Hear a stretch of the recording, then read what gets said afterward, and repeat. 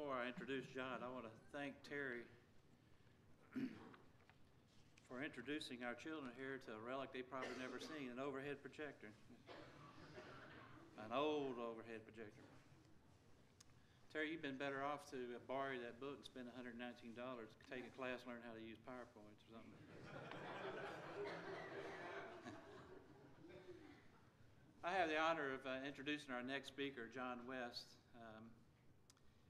Uh, John, as you know, uh, is married to Sonia, who is the church secretary, and then, of course, uh, I know all our members know the, rest of the, West family, Lauren and Jonathan and Joshua. But let me just say right up front before I get to John, that what a blessing to have him and his family, and especially Sonia as our church secretary. They are, mean much, so much, I know, to uh, David and myself and Ken and Buddy. So. But John was born in Aberdeen, Mississippi. His uh, father, brother, and father-in-law are all gospel preachers. He has preached full-time in Mississippi and Alabama. He's conducted gospel meetings uh, Alabama, Florida, Georgia, Kentucky, Michigan, across the Mason-Dixon line, uh, Mississippi, yeah, Mississippi, Texas, uh, and Tennessee. He's uh, participated in mission ships, uh, mission trips to the island of uh, Grenada and uh, to England or Grenada, depending on where you're from. probably doesn't brag about this as much as he used to, but uh, he's a graduate of the Memphis School of Preaching, and able to see right through that era. So uh, we appreciate him so much in that. Has a BA in Bible from Freed-Hardeman, Master's in Ministry, and is uh, currently enrolled in the Houston Community College Police Academy. And uh, I think takes uh, finishes that up next week, if I remember correctly. He is uh, an instructor and the academic dean for the Tr- Truth Bible Institute and currently preaches for the Dayton Church of Christ in Dayton, Texas. And uh, he's he's a good man, and I can't say I can't say anything more than that. That he's a faithful man with a faithful wife, and and uh, wonderful children. If you've ever met them, so I appreciate that so much. John Cumming uh, is going to be doing a review of the book by Joe Beam, Seeing the Unseen. I've got a contradiction right in the title there already, so ought to be fun. John, come and speak to us. My family and I have been privileged to be here for almost four years now. And I believe if I were to decide to move tomorrow, most everybody would be all right with it as long as I left Sonia behind. And she said if I decided to move tomorrow, she's staying here anyway. I can move wherever I want. She's just not going with me. It is a privilege to be here with you today, and I do appreciate this opportunity. There was one statement, though, uh, I need to correct about Jack. Uh, he said that Terry needs to start using PowerPoint. He is using PowerPoint. It's Cro-Magnon PowerPoint, albeit a form of PowerPoint. one of these days, Terry, maybe you'll learn real PowerPoint. You know, it's hard to follow somebody like Terry, but one thing for sure, uh, it was mentioned I've been to Michigan. I've held several gospel meetings in Michigan, and I've never met a Yankee yet that can either out talk Terry or talk as fast as Terry. Uh, they talk about how slow Southerners speak. They haven't met Terry yet. And if they have, then he's put them all to shame. But anyway, I'll be reviewing the book by Joe Beam, Seeing the Unseen. This book was written in 1994 by Joe Beam, or published actually in 1994. And it wasn't short, it was shortly after this book came out that I uh, was at a preacher's meeting. And apparently, the preacher that was conducting the meeting had bought the book and read it and was so upset at what was written in it that this, uh, this book was reviewed at one of our preachers' meetings. We did, did not do very many book reviews at our preachers' meetings. We discussed various things, usually had a speaker and things like that. But at this particular preacher's meeting, he reviewed it because the book upset him so much. I remembered very little from what, what he said because we didn't have a long time to go through this, but he gave a brief, a brief overview of it. I did sit down and read this book. I know last year there was someone who came to the open forum and made the false charge that a lot of the speakers did not read their books and they were up bashing the men and they were not dealing with the subject because they didn't know the subject since they did not read it. I can say that I have read this book more than once. I read it through entirely one time. I've gone back through in excerpts that I highlighted and uh, things that I went back over trying to decide what to put in, in the manuscript and what not. I could have written, I think, the entire lectureship book had I been given enough space and enough time to do so, based on the things that Joe Beam put in this book. So, what you have in the lectureship book, 20 something pages, uh, is really still only a brief overview of it. I will say this that this chapter and this lecture is not a personal attack. That was also an accusation last year made by someone, and I think maybe others even on the internet, but someone who came to the open forum. This is not a personal attack against Joe Beam. This is an attack of his false doctrine. And there needs to be the uh, distinguishing uh, aspect made of that because I am here to review or expose this book as the kind of book it really is. Although I will be dealing at times very strongly, and other speakers will be this week as well, with the authors of these various books. They will be to deal with the subject content, although things will be said about these men and, and the way they've conducted themselves or some of the doctrines they teach. This is in no way personal attacks against them. This is dealing with their perversion and their false doctrine. So, all of you watching on the internet who have the preconceived ideas, get that out of your head because we will be dealing with the content of the book. The Apostle John wrote in John 7 24, Judge not according to appearance, but judge righteous judgment. The judgment that will be given today and throughout this week will be righteous judgment based upon their errors or the errors in the books that will be reviewed. Jesus stated in the Sermon on the Mount, Matthew 7 20, Wherefore by their fruits you shall know them. And we shall see the fruits in this particular lecture of Joe Beam and his doctrine and the things he taught not only in this book, I will give some background information as well, some other aspects about him. As we examine the fruits of Joe Beam and his teaching, we'll see that he has erred not only in, in the teaching of this book, but in various other aspects in his life as well. Before getting into the content of Seeing the Unseen, I do want to spend a, some time dealing with a very brief background of some things uh, related to Joe Beam and his speaking, where he's spoken, those with whom he associates. We'll mention that just very briefly. But looking into this background, it's definitely not extensive because we just simply do not have the time to get an extensive background study of him. I could also spend this entire lecture just going through background of what he has done, where he's been, and where he even stands now. We'll only briefly mention those. He has been a false teacher for many years and has been known as a false teacher. When I went through the Memphis School of Preaching back in the mid to late 1980s, Joe Beam was known then. I heard of Joe Beam's name first after I enrolled in the Memphis School of Preaching. And at that time, they stood against him. I think they probably still stand against him now, although not as strongly uh, with some speakers as they have in the past. But when I was in school there, we learned about some of Joe Beam's false doctrines. It was shortly after graduating there and entering into Faulkner University in Montgomery, Alabama, where I heard more of his false doctrines, especially since his brother in law was and continues to be the president of Faulkner University. And we heard very uh, often very many things about his doctrine then. Joe Beam has spoken and continues to speak on lectureships such as, such as the Tulsa Soul Winning Workshop, uh, all you have to do is mention the name, you know where that stands if, if you're familiar with uh, lectureships within the Churches of Christ. Tulsa has been the uh, advocate of false doctrine for well over 25, 30 years, and possibly longer than that. I remember and have tapes from back in the mid 80s from Tulsa of some of the false doctrine taught on that, that workshop. The now defunct uh, program in Nashville, Tennessee, the Nashville Jubilee, he spoke on that. He's associated himself for many, many years with the likes of Rubel Shelley, with the likes of Max Lucado, Mike uh, Cope, uh, Randy Harris, and others of this ilk. As a matter of fact, after submitting the manuscript, I received this in the mail. This is the 2011 lectureship schedule for the Pepperdine Lectures in Malibu, California, that will be conducted May the 3rd through the 6th. When you take a look in the toward the back, it has about 13 to 14 pages of their lectureship speakers with their pictures and where they're from or where they're living currently. Joe Beam is listed on that. You go to the very back of their lectureship schedule and look at the list of all the speakers of the books reviewed this week. Eight books that will be reviewed are going to be of those men who will be speaking on the 2011 Pepperdine lectures. Those who are familiar with Pepperdine have a very good understanding of where they stand, or I should say, where they do not stand anymore. So this gives some insight about Joe and uh, where he does, where he has been, and what he does now. But even further insights could be found upon perusing the internet. Joe has claimed for many years to believe in, in quote, non-denominational, end quotes, Christianity. And that's a statement he has made. He believes in non denominational, first century Christianity. However, where he speaks and whom he fellowships uh, proves otherwise.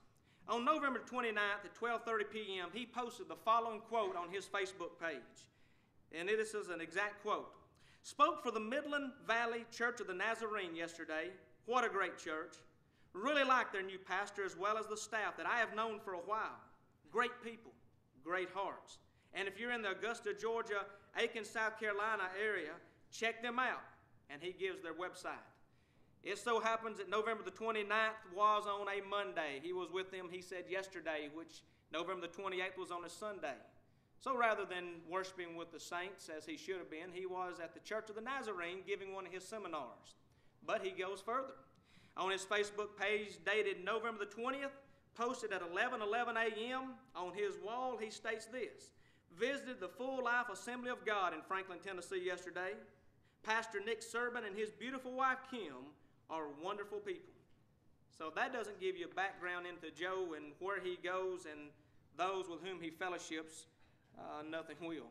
If you look on the Family Dynamics website that he started, it is my understanding now, I don't know how long this has been the case, but he is no longer actively involved with Family Dynamics. He's moved on, he's started a new website, he's got new things he's doing, different types of seminars he's doing, although he still does some marriage seminars. Uh, and he still is actively involved with Family Dynamics to an extent, I guess you would say. But on the Family Dynamics website that he started, or the company he started, they list that they conduct seminars with the churches of Christ and, and they list 18 denominations with whom they fellowship and work with their seminars. Now, I have no problem with going to denominational church and speaking as long as I can speak freely about the gospel of Jesus Christ and giving a defense of the gospel, but going and telling everyone how to have a happy marriage, hugging necks and shaking hands as if everything is okay and we're in full fellowship with them, I will not do. Yet this is something that Beam has done for many, many years. And we need to understand that also from the outset. Now let's get into the book and look at a, an expose of Seeing the Unseen. Is his book balanced? Or if you've read the book, would you say it's sensational? Now, we're going to notice what he states about it. Joe Beam declares in the introduction of his book that he believes on page 3, quote, that beings roam the earth today, end quote. You might ask, what kind of beings roam the earth today? Well, he goes on and explains this a little bit later. But he states in his book that he declares that he has written a book from a, quote, balanced, middle of the road view, end quote, page 3. He also states, I shy away from sensationalists who see a demon in every corner, end quote, also on page 3. Now, seeing the unseen, who are the unseen? As we expose this book, you will notice the unseen are angels, both good and bad, and demons and devils that are in this world today, along with the Holy Spirit who leads and guides him in going places and doing certain things. We'll talk about if we have time. If not, you'll just have to read the book. By the way, there is absolutely no way that I can cover all the material even in the book in this lecture. So you just need to get the book and read it. If I could talk as fast as Terry and I could absorb oxygen through my skin rather than having to breathe and stop for, for breath momentarily, I might could cover it all, but that would even be a stretch. Also, if Terry had been, you're smart, David, putting him first. Had he been the last speaker, we'd go to seven because since there'd be no more speakers after him, he'd think he had the seven to speak tonight. That wouldn't uh, wouldn't be anything unusual with Terry. Everybody likes to pick on Terry. I had to take my shot there too. But anyway, we can't cover it all. So we'll cover what we can. Pick the book up and read the rest. That's all I can say. He goes on on page 10. He says, now, now notice page 3. He said that he shies away from sensationalists who see demons in every corner. But notice a quote on page 10. Quote, I now find myself looking for the unseen in almost every situation I encounter. Is that almost, it really is the same thing, but lest he come back and say, You took me out of context, let's say almost the same thing that he said. He changed the words by saying he shies away from those who see a demon in every corner. He may not see a demon in every corner, but he's looking for one in every situation, and that's what he states himself on page 10. Look at the contradiction already in the book. You can actually read contradictions in his introduction to the book and in his preface and then in the first chapter. But as we get into that, page 10, he's already contradicted himself very glaringly by stating, already stating, I don't do like these sensationalists and see these demons everywhere, but I, I'm looking for them in, in every situation I find, in every place I go. He's always looking.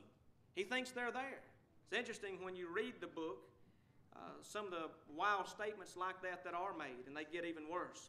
Throughout the book, he describes what he terms, quote, a spiritual warfare that Christians are fighting. Now, if we talk about a spiritual warfare, we would think that as Christians, we are in a war with Satan. Ephesians chapter 6, verses 10 through 17. We are fighting a spiritual battle with Satan.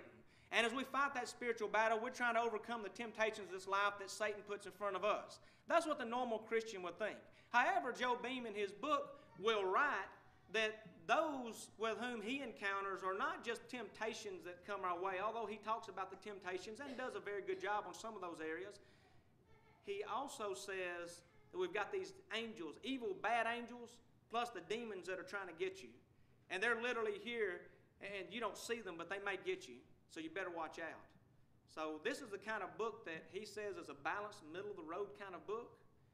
Uh, I think of poltergeist and exorcism things, uh, the omen. When I read this book, that's what popped in my mind from what he was saying. Although he says he does not go to those sensational movies and he does not be- or does not believe in those type of sensational movies as a basis of his book, but when he writes it, that's exactly what comes across.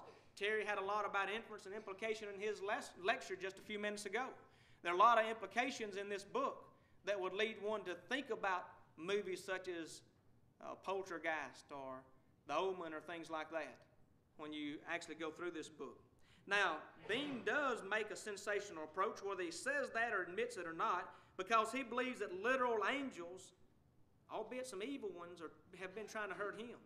Now, he has a part in the book, I didn't even include this in this lecture. You'll have to read the uh, manuscript for that.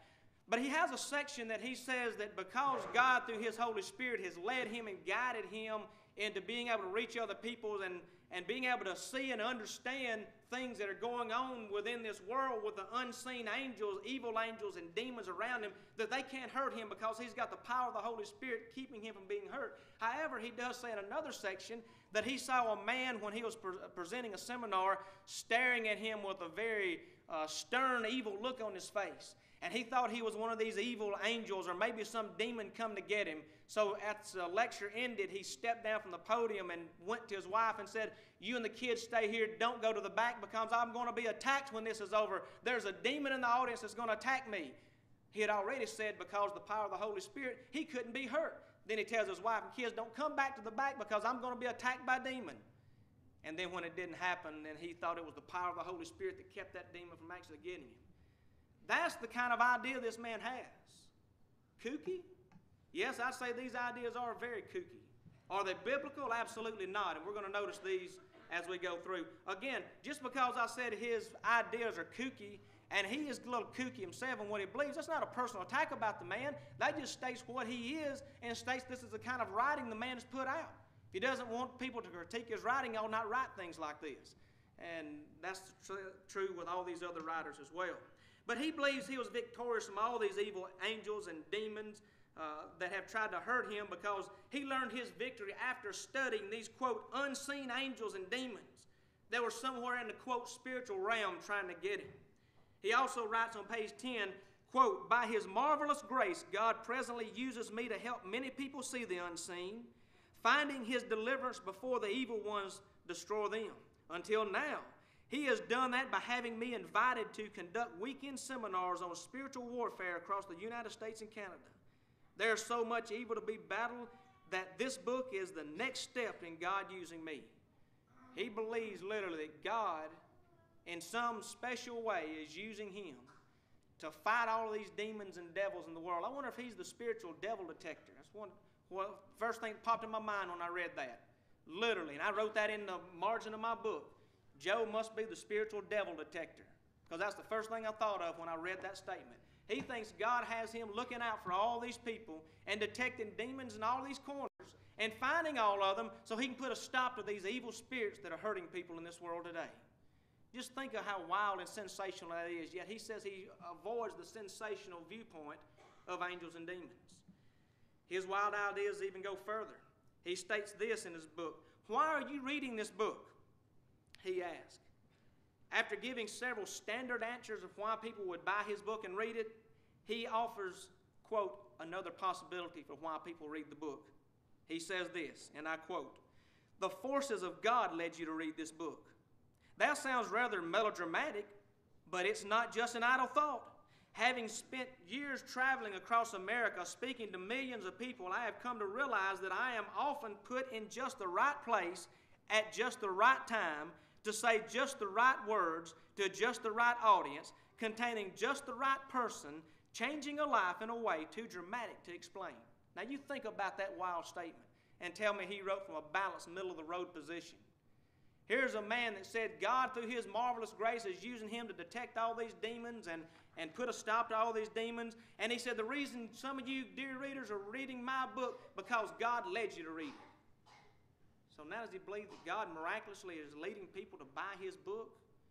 Well, I know that sales with a lot of people. That probably helped his pocketbook a little bit more when he sold more of them. By the way, I found mine on Amazon used. I wouldn't go to a bookstore and pay the full price for it. I think I found it for $2 on Amazon.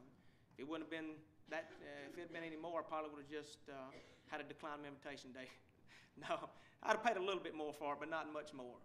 But people are going to bookstores every day and buying this book and thinking it's the most wonderful thing. If you read some of the accolades uh, in this book and what others have said, and get on the internet and read. I typed in Joe Beam, Seen the Unseen Book Review. You read some of the wild, landish comments that people make about how Joe changed their life. He's just such a great spiritual person, and if it weren't for him, they wouldn't have been able to find all the demons and devils in this world that they now can see. Again, I guess they're like Joe looking for them in every corner. Whether they see them in every corner or not, they're looking for them to see where they are. Now, how would Joe, Joe believe that God would lead people to read his book or even go as far to hear him speak? And he also believes that. Joe does believe that God, through his Spirit, leads him to people and leads him to places. On page 16 of his book, he says this It happened enough that when I arrive in a city to speak, I often ask God whom He sent me there for. God, are you going to tell me who you sent me there for? I know you're going to give me the answer before long. That's what he's saying here. He goes on and says, I have become so bold that sometimes I tell the audience, quote, I don't know why God sent me here, but someone here does, or soon will. God's going to lay it on your heart to tell either me or tell you why I'm here. And I'm going to be here to help you fight your demons. That's what he's saying. God's going to miraculously lay it on his heart. Hell, he won't use the word miraculous. He'd say if, if he were here today that I'm taking him out of context. But when you read his book, that's exactly what the man believes in what he's saying. He does believe in a direct operation of the Holy Spirit. The latter part of the chapter that I, I wrote uh, deals with that. I don't know if we'll have time to deal with that or not. Probably not. But then Joe goes on in another chapter to describe a story about his youth minister, about someone that the youth minister met. He, re- he relates this story in his book. And I, I entitled that section, An Angel or a Hippie. He describes the youth minister coming into his office, pale as a ghost, sitting down almost speechless, not knowing what to say. And he said, Joe, you remember yesterday when we had some, some storms come through the area, apparently flooded some things in the area. And he said, uh, I decided to take my wife and kids home early. He wanted to drive them home rather than let his wife drive home herself because the roads were flooded. He went through a road I think it was called the Green River Road or something like that, that was flooded. He said about two feet of water going across the road, and he and his family driving down this road, and he saw a man standing knee deep in water next to a stalled car.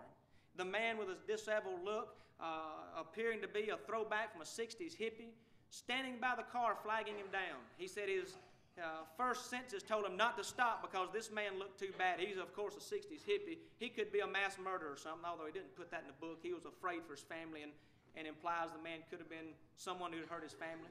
He said, but duty bound as a Christian, he had to stop. He picked the man up, asked, Where to? And the man said, Wherever you're going.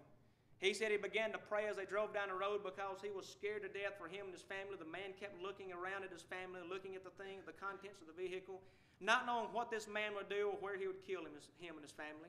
He said they came out of the, the rain swollen road uh, into an area where there were nothing but cornfields around. And the man said, Stop. He said he began praying harder, saying, Oh God, please don't let them hurt my family. Uh, don't let this, this man do harm to us right now. Please stop him from hurting us. He said the man just got out of the car and shut the door. He said as he drove off, he was very relieved that the man didn't hurt he and his family. He looked in the rearview mirror and the man had disappeared. Magically, he was gone. He disappeared. The next morning, he said he woke up, went out into the driveway to get into his car. And I'm going to read you a quote from this. He said he got, went to the read, uh, get out in the car and he, he found a note with a passage of scripture on the windshield that said this. And I'm quoting exactly as it is in the book, and they use the NIV, so this is a quote from the NIV. Quote, Do not forget to entertain strangers, for by doing so some have entertained angels without knowing it. End quote, Hebrews 13, 2, and it's on page 32 of Joe's book, Seeing the Unseen. As the youth minister and Joe sat in his office after relating that account, visibly shaken as Joe describes him, the youth minister asked Joe, Do you think? Joe responds, I don't know, but I believe it's possible. Dennis and Donna Randall, along with their three children, may have entertained an angel without realizing it. This good old 60s hippie was really an angel. Well, everybody's seen some of these angel shows. Um, well, I can't think of the, the show now. Touched by an Angel. Thank you. My wife had to mouth that to me. Thank you. Because I couldn't remember. Touched by an Angel. You remember there was one on there had the long hair. He had a couple of them look like hippies. Some of them dressed up. Some of them had the white. Some of them didn't. Uh, Touched by an Angel. All these kind of movies have sensationalized the, the uh, subject and topic of angels for many, many years. And that's the kind of thing I thought of that show when I, when I read this. Oh, there's an angel. There was a hippie that jumped in the car and he didn't hurt him because he must have been a good angel. And he entertained that angel. He thought that it was an angel that put that on his uh, windshield wiper. Although he doesn't come out and say for sure, as you see, Joe leaves the implication in the book that that's exactly who it was. It was an angel. Although he says, Well, I don't know, but you know, it could have been. He may have had an angel touch his life. And he did the Christian thing by giving this hippie angel a ride. Now, he doesn't call him a hippie angel, I do, but he describes him as a hippie. Now, you go further in the book on the next page.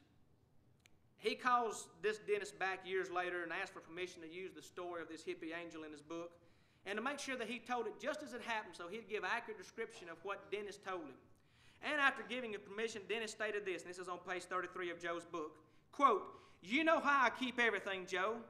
Well, I have searched for the card that was on my windshield, wanting to examine it again, to read the scripture once more, and to see if I could find a clue. Funny thing, it disappeared. Just one more mystery to add to the mystery. What happened to the card? He is methodical in keeping up things orderly and arranged and knowing where everything is, but this particular piece of paper, out of all of his papers, just happened to disappear. You think old Dennis might have just misplaced his paper?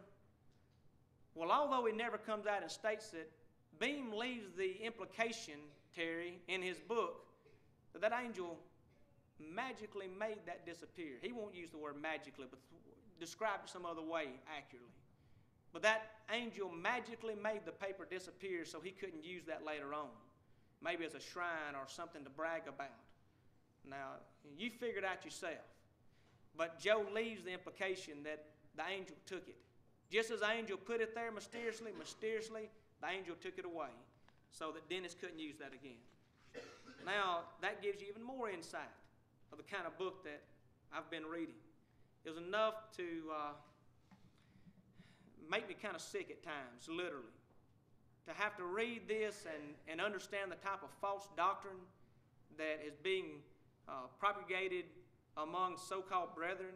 This man, though, has been far off for many, many years. It doesn't surprise me.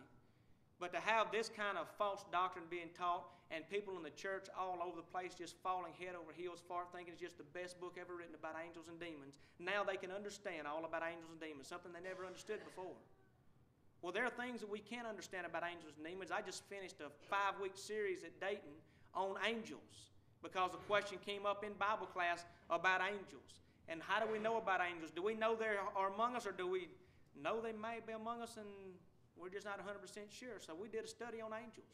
The problem is maybe we don't study the subject enough, and because of the wild, sensational movies and television shows about them and the fascination with them, people come up with their own conclusions that are far from biblical. And that's exactly what Joe has done in his book.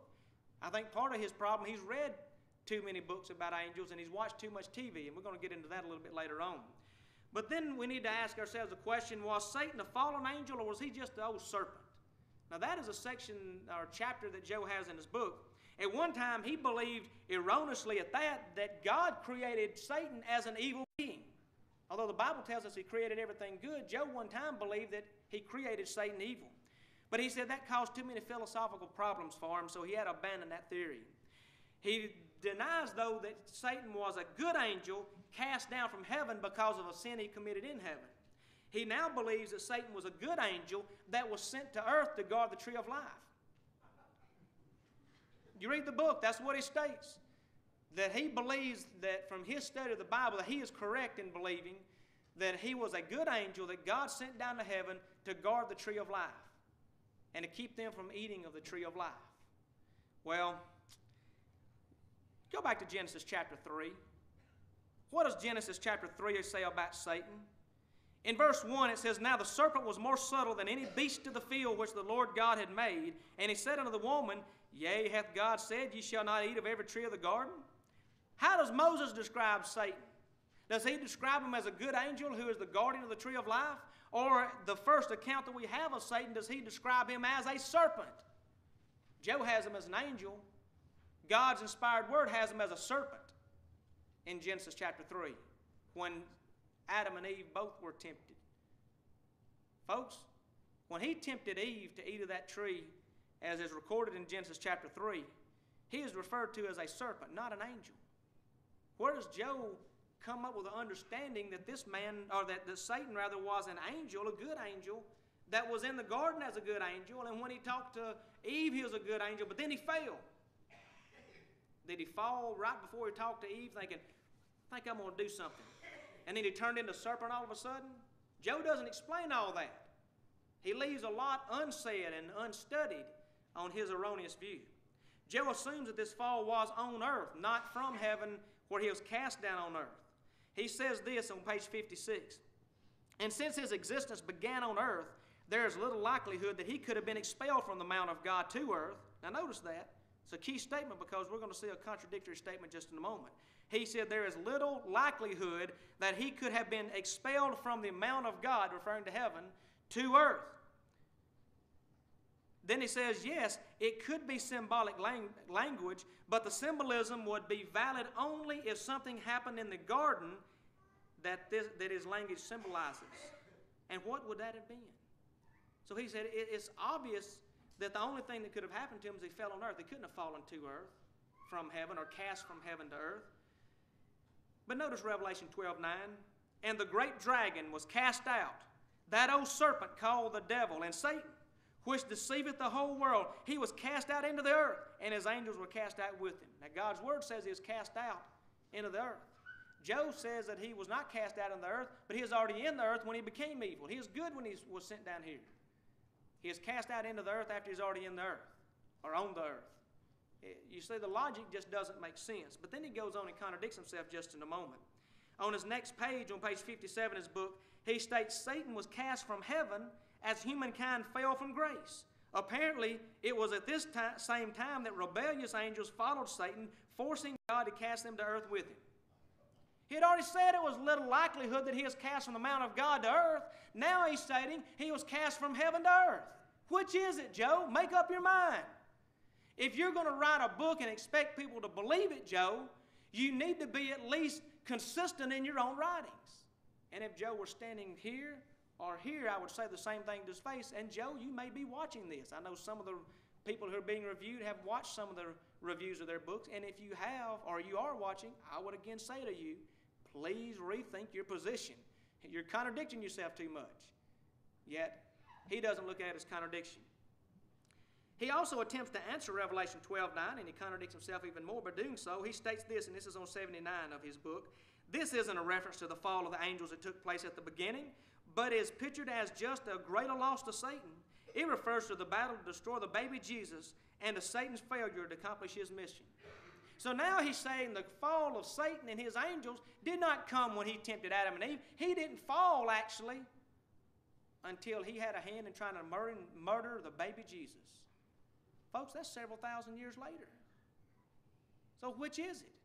He was already on earth then he tempted Eve, but he wasn't cast in the earth. But then he fell from heaven. But the fall from heaven couldn't have happened when he, or prior to him tempting Adam and Eve. The fall from heaven and the fall of his angels, which is just as a great a loss to him, had to happen in the uh, attempted murder of the Son of God. So now you see again more and more contradiction and wild ideas that is really standard throughout this book. Well, what about the using a defense, the devil made me do it? Do. You know, old Flip Wilson made that po- uh, popular years ago. The devil made me do it. Well, Joe apparently believes that as well. Joe tells a story of a man who had just been convicted of capital murder and the death of a state trooper. He shot about six times, I believe. And he said an evil spirit made him do it. Now, not Joe, but the man did. The man that was convicted of murder said an evil spirit made him do it. He couldn't help it. Uh, he had to kill that state trooper because the spirit told him to do that. Well, in the case of the convicted murder, murderer, Joe Beam says he doesn't think the devil made him do it. But here's something he does say pages 63 and 64 of his book. It happens often enough that hardly anyone stops to ask whether an evil spirit really could have spurred the offender. After all, we're too sophisticated to believe the quote, devil made me do it plea. Our law doesn't recognize such plea as valid, and anyone claiming such nonsense is either insane or trying to appear to be. Demon driven people exist only in movies, right? Can the devil have that much power over a human being? Enough power to make him shoot another person six times? Now, again, he just whets your appetite and then leaves you hanging for a second. But if you go to the next page, he doesn't believe that that evil spirit on page 65 uh, made him do it, but he says this that doesn't mean an evil spirit was not involved. The words forced or made are too strong for what they do through their manipulation. Incited or prompted come directly from scriptures and accurately describe their activities. So it didn't make him do it, but it prompted him to do it. You know the very first thing I thought of when I read that statement? There's a lot of things came to my mind I was reading this book. Very first thing I thought of, remember old TV shows where you see the little devil pop up on his shoulders about this tall, and he's saying, Oh, go ahead now, do it, do it. You need to do that. You know you'll enjoy doing it. Oh, it'll be so fun if you do it. Then the little good angel pops up on the other side. Don't you do that? You know that wouldn't be right. You can't do that. That's exactly what I thought about when I read this because that's the impression that Joe leaves when he says, Well, the devil didn't make him do it, but he had the little man on his shoulder tell him, Go ahead, shoot him, shoot him. You need to shoot this man six times, I'd say. Go ahead and get him good. He didn't make him, but he influenced him. He prompted him. He kind of coerced him into doing it. It's kind of thing that I think maybe he's been watching too much TV and coming up with some of these wild ideas. Yet, again, remember, he said on page three that he wrote in a middle of the road viewpoint. Well, Joe also believes in modern day demon possession. He believes that demons are mentioned, that the demons that are mentioned in the Bible are, quote, the souls of the wicked dead who have come back to earth. They not only roam the earth, but they can inhabit and control the bodies of the living. Souls of the living dead. I remember watching a movie years ago. I, I think I was a teenager. Night of the Living Dead.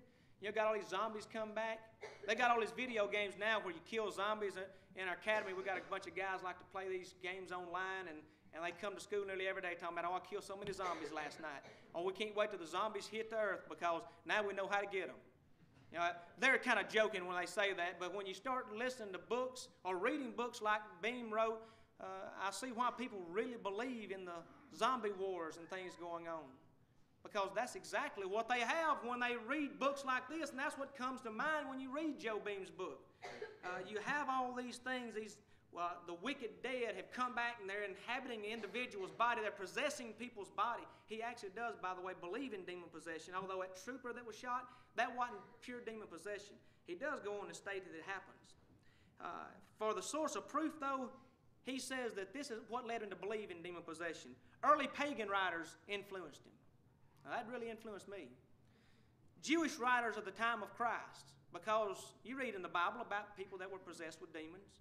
Uh, matter of fact, we find in Luke chapter 8 about the man in the tombs who was demonic. He asked Jesus, to, uh, the legion asked him to cast him out uh, into the swine. They ran violently off into the cliff and perished. So we read about those instances in the Bible. So Joe says, because that happened then, it's got to happen now. A lot of things happened in the first century happened during Bible times that don't happen now. And just because I read about it in the Bible and I have faith that they happen, that I can read, doesn't mean I've got to believe that that's what is happening today. Yet he uses these as illustrations to say this is why he believes in it. Uh, this, again, of course, was a miraculous event that occurred in Luke chapter 8, showing Jesus' power over the demons. Uh, other instances you find where the apostles were able to cast out demons themselves. uh, when they were sent on the limited commission, for instance, Matthew chapter 10, you find that happening as well. Doesn't mean that it happens today. But among his so called proofs, he cites one of them that greatly influenced him. And remember, I mentioned he watches too much television? He watched a television special entitled, quote, Angels Among Us. He was greatly influenced by one particular author, some reverend somebody. Uh, it's in the book, you can read it. Uh, but anyway, he was influenced by this man and all the great work he had done in exorcising demons. But he said after watching the show, he sat in his recliner, he couldn't get it off his mind. It really troubled and bothered him. And he said this on page 103 For some time after the special, I sat thinking about the tremendous experience the Catholic Church has had with demons and exorcisms. So have many charismatic and Pentecostal churches. Discounting their experiences because of my doctrinal differences with them didn't show great wisdom on my part. I don't have to believe Catholic doctrine to believe uh, they have encountered satanic forces and faced them through the name of Jesus. Now, just wrap that around your brain real quick in that statement. He goes on and says, I think it's time we look beyond the borders of our own religious heritage to see what our religious neighbors have learned that can be of value to us in this spiritual war. We're fighting demon possessed people, so we need to know how to do it. So, you want to learn how to do it? Let's go to Catholics, Pentecostals, they can teach us. Well, I think he's been sitting in front of his TV too long, and he's been going to the Nazarene and these holiness Pentecostal churches too long and fellowshipping them. Uh, this has rubbed off on him. He continues to believe it. But he does say in his next section of this chapter, uh, in dealing with exorcism, since we mentioned that, he says on page 106, but what if it's too late for avoidance? What if the demon has already taken up residence? And he teaches pure demon possession. Well, first of all, we do not have the same power given to the apostles. Matthew chapter 10 and verse 1, I mentioned just a moment ago, uh, Jesus, when he had called his unto him his 12 disciples, it says he gave them power against unclean spirits, spirits to cast them out and to heal all manner of sicknesses and all manner of disease. Doesn't mean we're given that same power, folks. There's not a single verse in the New Testament that authorizes Christians today to cast out demons, nor is there a verse that states that people are demon possessed today and yet you listen to what he says, then you say that, oh, they are here. And that's the problem. Too many people are listening to him. He goes on further and he says, If I were called to do an exorcism, I can assure you I'd go armed with a shield of faith and a bombardment of prayer. Demons aren't the spooks of fun houses and, the, and bad movies, they are creatures who can torment and destroy. Well, my advice to Joe is Joe, since you're a, a, a novice at this, why don't you find your Catholic priest or Pentecostal preacher? They're the experts. Take them, let them do it. You stand back and watch. Folks, you start getting into reason and logic. If you're going to call somebody to do something, if that actually happened, would you want to call a novice like Joe? Or would Joe want to go along with some experts and let them do it and him watch as an apprentice? But he's ready to do it. He said he's never experienced it, but if he was, he was called upon to do it, he'd be ready. I wonder how long it'll be before he claims to actually do an exorcism. As far as he's going in this book, it wouldn't surprise me if he hasn't already claimed it. And maybe I just haven't because of my limited uh, response to him or with him. Uh, I not have seen that. Well, a lot more could be said. Again, I mentioned a section on the Holy Spirit. He believes the Holy Spirit directly, in a direct way, apart from the Word. As he even states in there, leads and guides men today to be able to overcome the unseen evil angels and demons around.